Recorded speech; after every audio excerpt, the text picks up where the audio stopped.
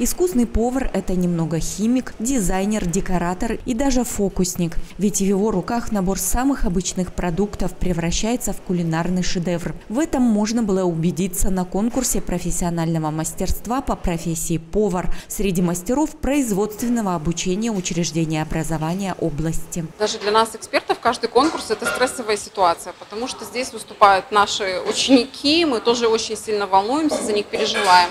Ну, а для самих участников это в первую очередь, наверное, какой-то рост для себя, даже для себя. Они показать престиж своего учебного заведения, ну и рост для себя. Каждый э, участник показал себя, ну, скажем так, с, с хорошей стороны. Есть творчество, вы видите, блюда у всех разные, вроде бы составляющие одинаковые, но при этом блюда совершенно разные, да, и, и подача у них разная, и по э, применяемым технологиям тоже блюда отвеча, отличаются. За 4 часа девяти участникам предстояло приготовить холодную закуску салат папороть-кветка, крем-суп и горячее блюдо драники по-домашнему в авторской интерпретации. К процессу приготовления конкурсанты подошли творчески, креативно и с душой. Домашние драники готовили в форме колбасок, запекали вафельница, начиняли грибами, украшали орнаментом из клюквы, узорами из сливок и воздушным декором. Я сама с Драгичина, и у нас в Бездежке э, фартушок есть, и у нас национальность подавать дряники именно с макухой. Что это такое макуха? Макуха – это лен э, специально выращенный, перемолотый,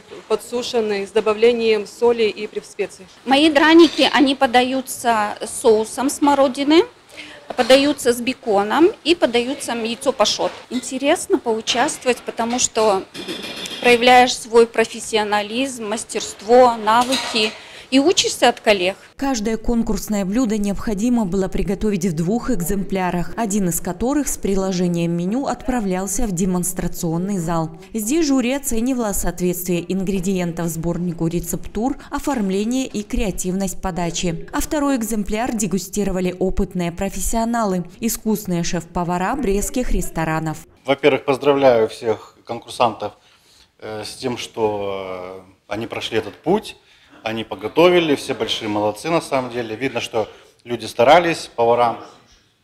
Э, но хочу пожелать, чтобы саморазвивались. Сейчас много информации и в том же интернете, и много заведений очень хороших, э, дают шеф-повара консультации. Ну, у нас уже есть э, явный такой фаворит, да. Я думаю, он ну, на шаг впереди всех. А, а в принципе остальные все, ну, наравне так идут, наравне. Фаворитом жюри стала Мария Кравчук из Лунинца. Именно ее блюдом жюри присудила самую высокую оценку. А представительница Бреста Дарья Манайчук досталось почетное второе место.